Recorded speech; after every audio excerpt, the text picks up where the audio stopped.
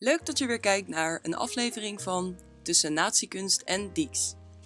Met in deze zoektocht naar geëngageerde kunst de volgende schilders in de hoofdrol: Otto Dies, George Cross en Adolf Ziegler. Deze schilders en hun kunstwerken zullen ons helpen bij het vinden van een antwoord op de vraag: wat zijn de motieven van Duitse geëngageerde kunstenaars tijdens het interbellum? Maar waarom willen we een antwoord op die vraag? In Museum Untertage in Duitsland is tot en met 9 april 2017 een expositie te bezoeken over natiekunst. Het tentoonstellen hiervan ligt gevoelig in Duitsland, aangezien natiekunst een grote rol heeft gespeeld in de Tweede Wereldoorlog en de aanloop daarnaartoe. Maar waarom vond het museum dan toch zo belangrijk om deze kunst tentoon te stellen? Om dit te begrijpen moeten we teruggaan in de tijd naar het interbellum en in de wereld duiken van Duitse kunstenaars die toen leefden. We zijn in Duitsland, de jaren 1990 tot 1939. De levensomstandigheden van Duitsers waren allesbehalve prettig. Er stonden lange rijen voor voedselbanken, de werkloosheid steeg en de algehele gezondheid kelderde. Dus ontstond er onder het volk veel kritiek op de Duitse samenleving. Ook kunstenaars maakten zich zorgen om hun samenleving. En in de kunstwereld zagen we toen deze twee vormen van geëngageerde kunst opkomen.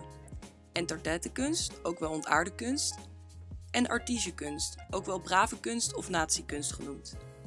We bekijken eerst de entertainmentenkunst.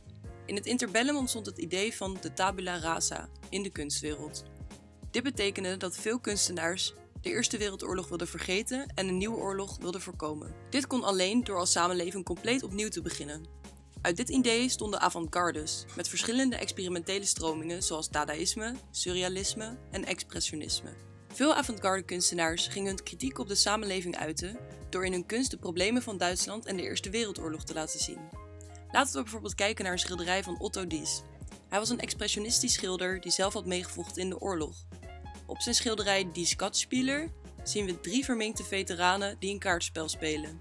Ze zijn zo beschadigd geraakt door de oorlog dat ze voor de helft bestaan uit prothetische lichaamsdelen. Het grimmige schilderij laat zien dat Dies kritiek had op de Duitse maatschappij. Hij wijst het publiek namelijk op de ernstige gevolgen van de oorlog en bekritiseert tegelijkertijd de geïndustrialiseerde samenleving doordat de personen op zijn schilderij halve machines zijn. Zijn boodschap is dat het land op moet passen dat levende individuen niet op gelijke voet komen te staan met productiestoffen zoals metaal. Iets dat Dies met zijn eigen ogen had zien gebeuren tijdens zijn dienst in de Eerste Wereldoorlog. Nog zo'n avant-garde kunstenaar was George Grosz. Ook hij was verstrikt door de verwoestingen van de oorlog, maar hij geloofde dat kunst de kracht had om mensen op nieuwe manieren naar de wereld te laten kijken. Zodoende gebruikte hij in zijn werk vaak ironie en satire om de Weimarrepubliek te wijzen op een afwezigheid van bezorgdheid om de samenleving. Op zijn schilderij The Funeral zien we elementen die verwijzen naar de gevolgen van de oorlog. Gedemoniseerde mensen, geteisterd door ziektes en dood, die proberen te vluchten in de roes van alcohol en prostitutie. Het werk is een protest tegen de samenleving die is doorgedraaid. Na het ontstaan van deze avant-garde kunst komt in 1933 de artistische kunst om de hoek kijken. Precies het jaar dat het regime van Hitler aan de macht komt. Dit regime is het niet eens met de manier waarop nieuwe stromingen Duitsland afbeelden en daarom verbieden ze alle kunstwerken van avant-gardes, die nu entertainmentenkunst genoemd wordt, verboden kunst. Goebbels was op dit moment minister van Propaganda en deed de volgende uitspraak. Vanaf nu zal Duitse kunst heroïs, krachtig, romantisch, feitelijk en onsentimenteel zijn. Op deze manier hoopte het naziregime Duitsland te redden door juist de kracht van het land te laten zien en in te spelen op nationalistische gevoelens van het volk. Adolf Ziegler was een kunstenaar die dit soort artistische kunst maakte. Op zijn schilderij Four Elements zien we vier naakte vrouwen in neoclassicistische stijl.